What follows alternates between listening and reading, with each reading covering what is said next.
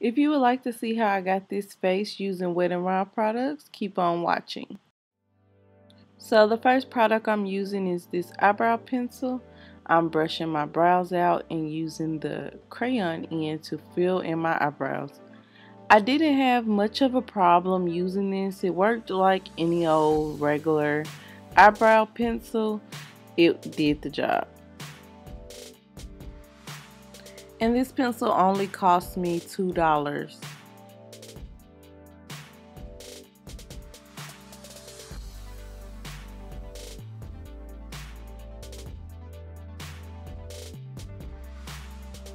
This next step is totally optional. I'm using the Photo Focus Concealer and it's in the color Medium Tawny. I'm just taking that concealer and highlighting under my brow bone. Like I said, this is optional.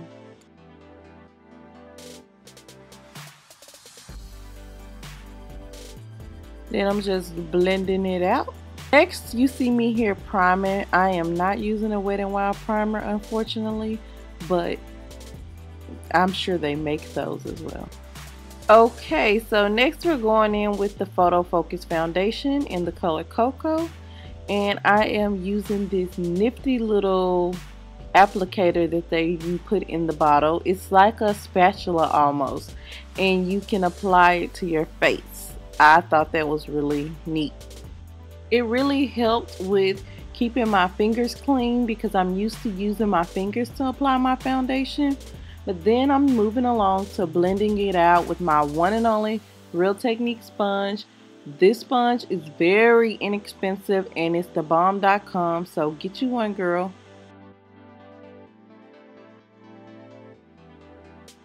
And don't forget when you're using these sponges to make sure they are damp. It will make a world of difference. Alrighty, so next I'm going in with that Photo Focus concealer again and I am highlighting under my eyes doing the same methods that I always do and I really like the concealer. I feel that it was really creamy and it was good for the price. By the way, the concealer was $3.99. Alright, so next I'm going in with the Mega Cushion Contour and this is in the color something slay. It's a really, really cushioning um, type packaging where it reminds me of those old school nail polish removers with the sponge in there and it has liquid under it. But anyway, it's um, mega cushion and you can apply it to your regular contour areas. But I just did not feel like this matched my skin. Like, did they think I was the color of the girl on the packaging or what? But it did not work for me. So, moving along, we're setting our face with the also photo focus powder. And this powder was okay. I feel like um I just think that these colors weren't really true because I picked the darkest colors that they offered but I feel like I'm still looking a little Casperish in this video but all in all it oxidized and did what it needed to do and I looked okay in the end. So as you see I'm going in with this trio eyeshadow palette and it's called Walking on Eggshells and I'm taking that lightest color and highlighting under my brow bone once again. So now I'm going in and I'm just doing a simple wing liner. Well, at least trying to. But about this eyeliner, I don't even remember the name. I didn't do a close-up or anything on it. But the applicator that they used for this is just crap. I feel like it would have been so much better if it was a felt tip so it can kind of absorb the eyeliner. But it was more so like a plastic tip.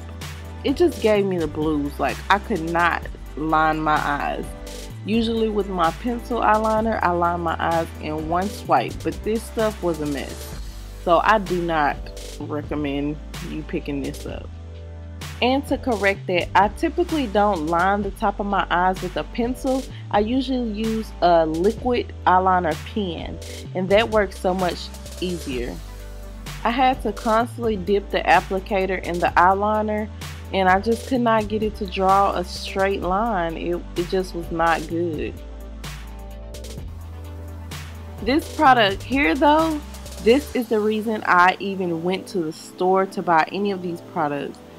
I heard so many good things about this Wet n Wild highlighter.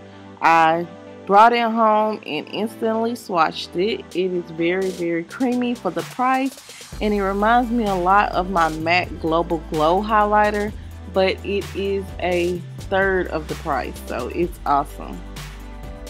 So in order to save that terrible eyeliner I applied lashes and I used the Vegas Nay Grand Glamour lashes by Allure. I really like these and they're easy to apply. To finish off the eyes, I went in and added mascara to my bottom lashes. This is becoming a must for me because it just helps to open up the eyes. This is not a Wet n Wild mascara, but it did, it did the job.